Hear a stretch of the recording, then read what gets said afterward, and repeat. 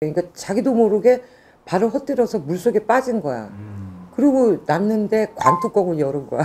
그 이어진 명에는 무당의 점을 봤을 때 점사가 거의 안 나와요. 사실은 내가 네가 말한 67세 죽다 살아났어. 그러니까 그때 처음 경험한 거예요.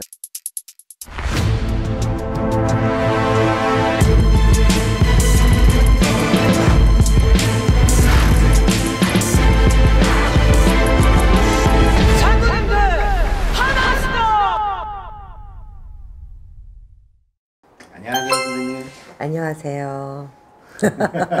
어, 뭔가 이렇게 착하게 요즘 들어서 착한 걸 좀 많이 강조를 하시네요 선생님. 새끼지고 싶어요.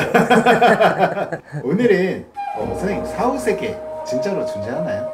어, 나 사후 세계 너무 좋아해. 존재합니다. 음. 존재합니다. 저는 유체 이탈도 해봤기 때문에 네. 존재하는 걸 명확히 압니다. 경험을 해봤고 네. 말 그대로 사후의 세계, 네. 음, 죽음과 동시에 또 다른 세계로 포털 사이트를 통과하듯이 어, 공간 이동을 한다. 이러면 이해하기 쉽겠죠, 꽃님들. 충분히 존재합니다. 음. 그왜 존재하냐? 이 심리학이나 정신과에 보고된 논문이나 기타 다른 이제 사이트에 보면은 네. 사후의 세계를 체험한 수많은 사람들의 증언이 있고 간증이 있어요. 네. 그거는 종교를 떠나서 네. 그것이 불교가 됐든 기독교가 됐든 크리스찬 어떤 종류 성당 천주교가 됐든 네. 사후의 세계는 누구나 경험할 수 있는데 음. 어 제일 멋있었던 거는 지금은 자꾸 하셨죠. 네. 저희 외할머니가 저 초등학교 때 돌아가셨다고 네. 장례를 다 치르고 그때 이제 5일장을 하셨어요. 네. 어, 일어나셨어요. 실화예요. 어. 기겁을 한 거야 동네 사람들도 다. 네.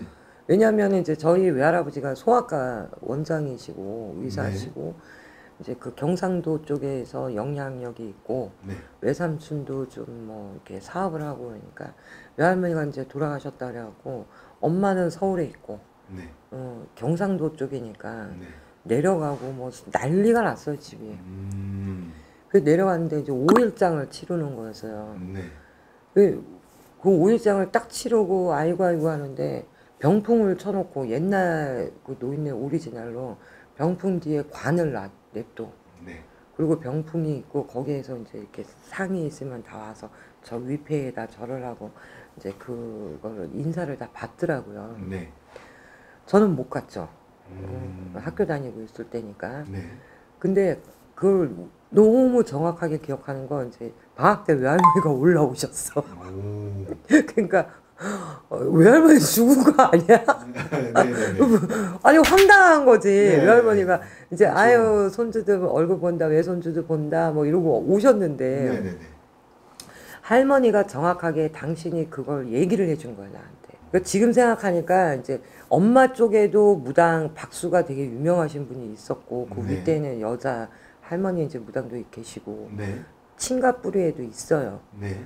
어, 작은 집에도 며느리가 무당이고 우리 네. 최씨 집안이. 근데 할머니가 이제 방학 때 살아서 오- 오신 거야. 음. 근데 얘기를 하는데 꿈속에 네. 당신이 이제 심장마비가 돼서 돌아가셨는데 꿈속에 네. 어, 의사 원장을 하셨던 이제 외할아버지죠. 네. 어, 당신 남편분이 네. 어디 산 속에 큰 기와장, 차 기와집 그 아흔아홉 칸에 주인으로 계시더래. 음. 외할아버지가. 네. 그러니까 이제 나는 기절하고 어떻게 보니까 밝은 곳을 지났는데 이리 오너라 하고 양반집 문을 열어 자기가 이리 오너라 그러니까 그 머슴들이 다 열어주더래.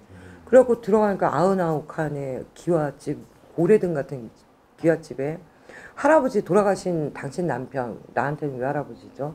외할아버지가 이렇게 옛날 그갓 있죠. 양반들이 쓰는 그 도포를 입고 아 여기 왜 왔냐고. 그러니까 어 당신이 여기 이 집이 다 당신 거냐. 음. 그래서 살아생전에도 이제 좀 여유가 있으셨는데 아니 이게 다 당신 거냐 이러고 막 집을 막 구경하는데 안 된다고 너 빨리 내려가라고 막 그랬대 외할아버지가 그러니까 외할머니 서운한 거죠 이게 이제 몇십 년 만에 봤는데 나더러 빨리 가라고 하니까 외할머니가 되게 서운했대요 음. 그러니까 너 지금 여기 오면 안 된다. 애들만 있는데 너 안 된다. 더 있어라. 그래서 막 문 밖으로 밀었다는 거야 외할아버지가. 네.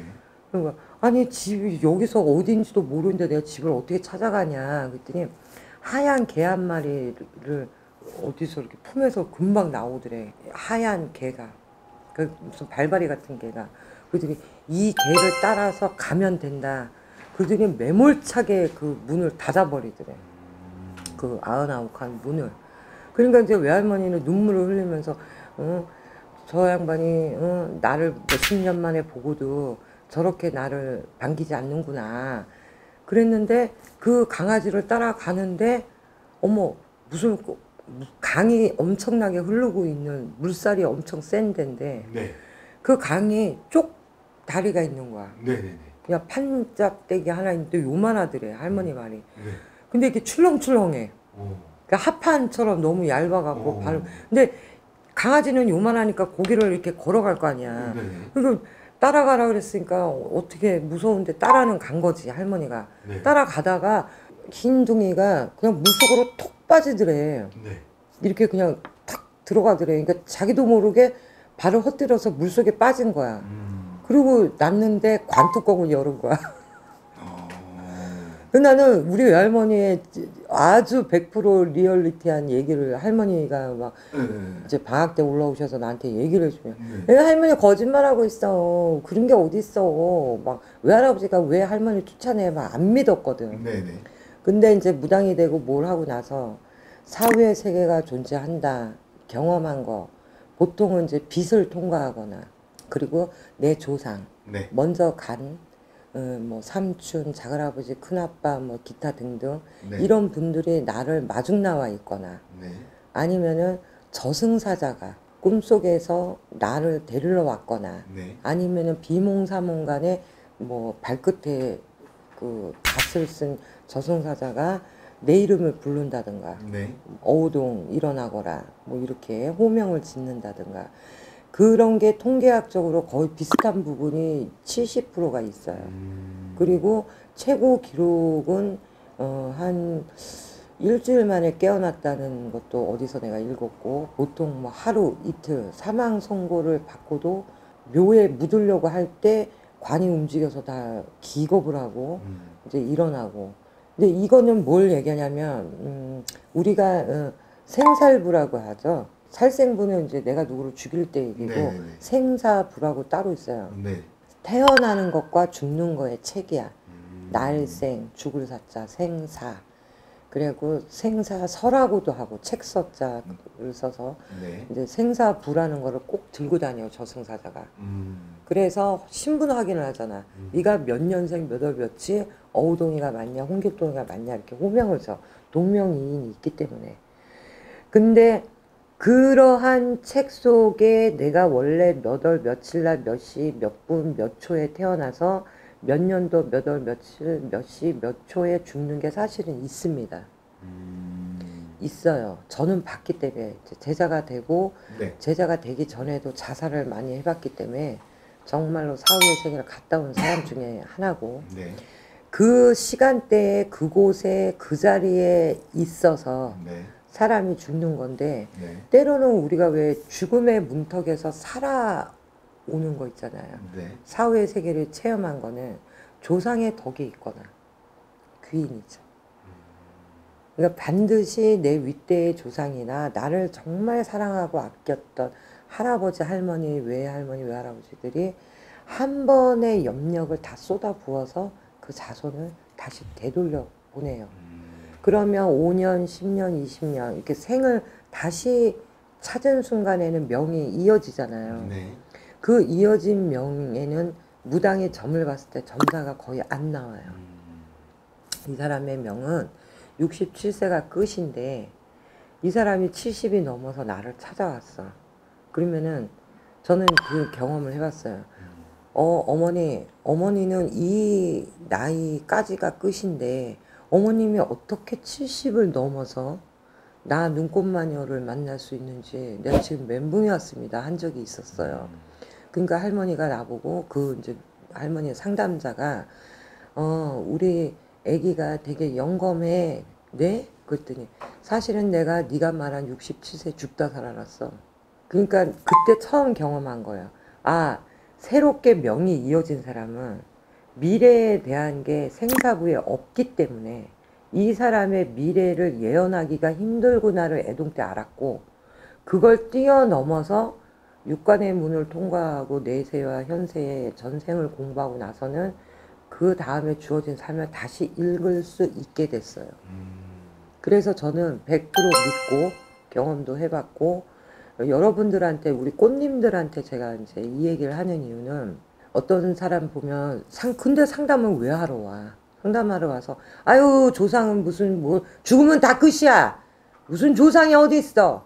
난 그런 거 안 믿어. 그냥 내가 이거 가게 하는 게 나 안 하는 게 나 이거나 얘기해. 뭐 이런 이제 아나무인처럼 네. 당신이 원하는 정보만을 이렇게 선택적으로 말을 해달라는 분이 있지만 네. 어, 안타깝죠 무당의 입장에서 보면 네. 이 말을 하는 이유 중에 하나는 우리가 경험하지 않고 눈으로 확인하지 않은 초자연적인 현상과 비과학적인 현상은 존재합니다. 보이는 것만 믿는다면 이 세상이 우주 삼라 만상이 돌아가는 거에 0.0001%밖에는 인간이 이해를 못해.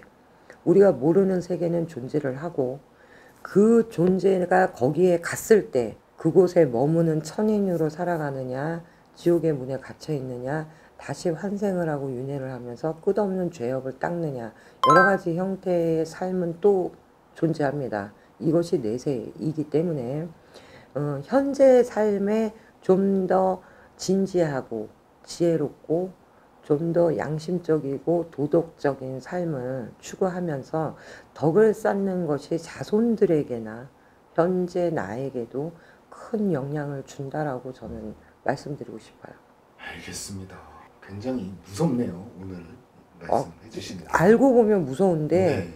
또 자세히 또 들여다보면 네. 이 세계가 여기서 이승이 네. 다라고 생각하면 안 돼. 네. 저승도 있지만 마계, 축생계, 지옥계, 천상계 우리가 알 수 없는 사이트처럼 이런 새로운 공간은 어마무시해요. 그러니까 여러분도 죄 짓고 살 수가 없어.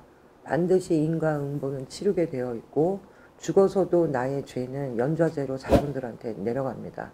그렇기 때문에 사회 세계를 저는 인정하는 제자고 우리는 좀 더 멋있는 삶을 위해서 사회에 환원하고 사회의 어려운 사람을 또 위안 삼고 의지하고 도움을 줄 수 있는 무엇인가 덕행을 쌓는 삶, 그 반드시 필요하다고 봅니다. 알겠습니다. 네. 오늘 컨텐츠 여기까지 하겠습니다. 여러분 착하게 삽시다. 저도 사회에 많이 봉사하겠습니다. 여러분 화이팅!